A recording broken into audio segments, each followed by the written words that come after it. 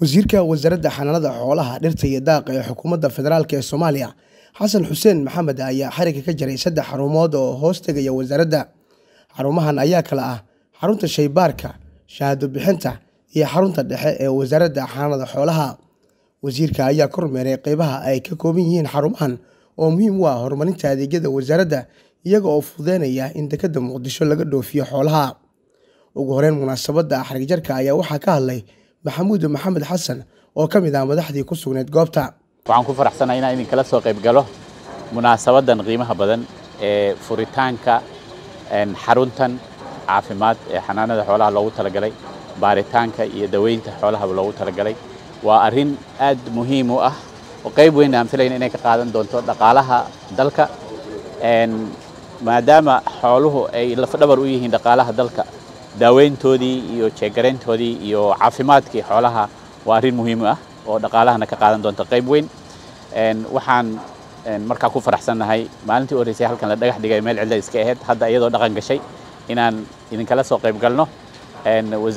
Wasiiradan aan kala soo qayb galo. Waxaan aad ugu boorinayaa wasaaradda iyo dadka kale ee dhallinyarada ka shaqaysa meeshan. Muxuu ahay faraha ku doonta in la ilaaliyo xaruntaas oo waxtarkeeda si fiican looga faa'iidaysto muddo dheerna ay jiri doonto insha allah lana dhaqaaleeyo la ilaaliyo la xifdiyo. Intaasaan idinku boorin lahaa. Wasiirka degadaha xukuumadda federaalk ee soomaaliya cabdulaahi axmed jaamac oo ka hadlay munaasabadda ayaa sheegay in tilaabadan ay horseedayso in xoolaha laga dhoofiyo dekedda muqdisho. Waa maalin aada u fiican aadna u wanaagsan aadna u weyn. Wasaaradda xanaanada xoolahana waxaan rabnay inaan ugu hambaliyeyno horumarkan ay gaadhay. Horumarka ay gaadhay waa horumar dalkoo dhan u wada gaadhay. Annaguna waa kula daaranaa maadaama dekedii aanu dhulka annagu siinay. Inkasta iyagoo dhistaan waa kula daaranaynaa muxuu ahaa xafladda wasiirka aad iyo aad baan ugu mahadnaqaya muxuu ahaa inuu nagu casubay inaan kala soo qayb gallo waxaa hadda la dhisay oo inta iminka dhisan oo laabku ugu mudan yahay iyo shahaado bixintu waxa weeye waa wax lagu faano.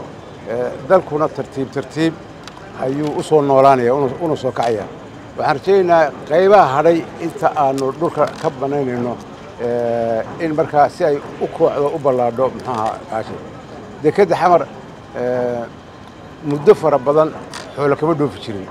Lakin waxaan rajaynaa from now onwards hadda wixii laga bilaabmo inay xoola ka dhoofaan. Waxaa hal mar baa waxaa ka dhoofay lo oo tiro yara laakiin ma jirin xoolo ka dhoofa. Khayr baa idiin rajaynayaa waa idiin hambalyaynaa dhammaantiin shaqaalaha muxuu ahaa wasaaradda iyo wasiirkaba wasiirka wasaaradda xanaanada xoolaha dhirta iyo daaqa ee xukuumadda federaalk ee soomaaliya xasan xuseen maxamed ayaa sheegay in xarumaha maanta la xarig jaray ay muhiim u yihiin adeegyada bulshada ay u hayaan. Xafiisyadan quruxda badan oo saaka aan aan xarigga ka jirnay waxay kaabi doonaan guud ahaan horumarka dalka soomaaliya iyo gaar ahaan soo kabashadii markii dalka uu burburay oo dhibaato ay ku dhacday sektarkan xanaanada xoolaha. Xaruntan waxay wax badan ka tari doontaa dee shaybaarka caafimaadka xoolaha oo haddaba shaqo badan laga wado oo maalmi bilihii ugu dambeeyey ama sanadkanba si xoog leh ay uga socoto daaweyn ayuu wax badan ka tari doonaa oo saacidi doonaa.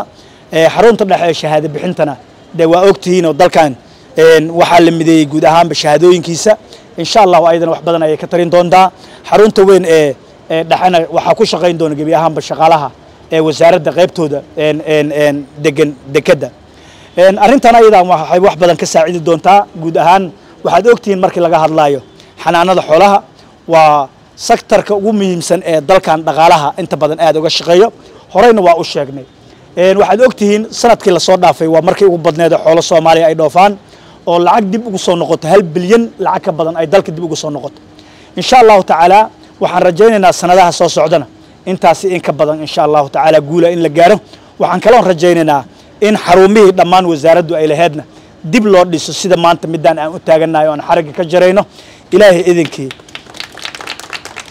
Waxaan kaloon rabaa inaan u mahad celiyo shaqaalaha oo wasaaradda oo ayaga naftooda shaqo badan qabtay oo u taagan inay dalkooda iyo dadkooda u shaqeeyaan.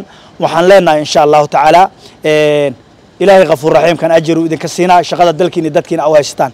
Waxaan rabaa inaan kala dardaarmo ummadda soomaaliyeed. Waxa waa aad aragtaan maanta soo kabashaan ku jirnaa. Waxaa dib loo dhisay guryo qurux badan. Guryahan dhisan waxaa la rabaa in sida loo qurxiyey idinkana aad u qurxisaan oo mar walba aad uga warqabtaan.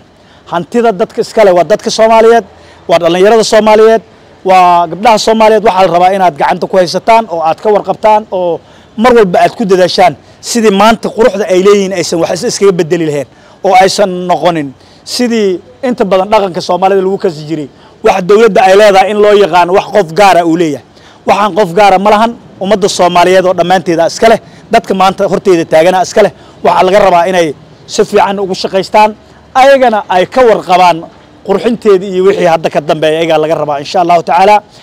Zakariya axmed muuse t v-ga shabeelle muqdisho. Shirkadda beeko waa shirkadda ugu weyn ee bixisa adeega korontada soomaaliya. Beeko waxa ay koronto siisaa koonfurta soomaaliya sida banaadir jubbaland hirshabeelle iyo koonfur galbeed. Beeko waxa ay siisaa adeeg koronto oo dhammaystiran dhammaan toddobiiyo tobanka degme ee gobolka banaadir iyo goobaha ugu waaweyn magaalada muqdisho sida airboorka aadan cadde dekedda muqdisho iyo dhammaan safaaradaha iyo hay'adaha caalamiga ah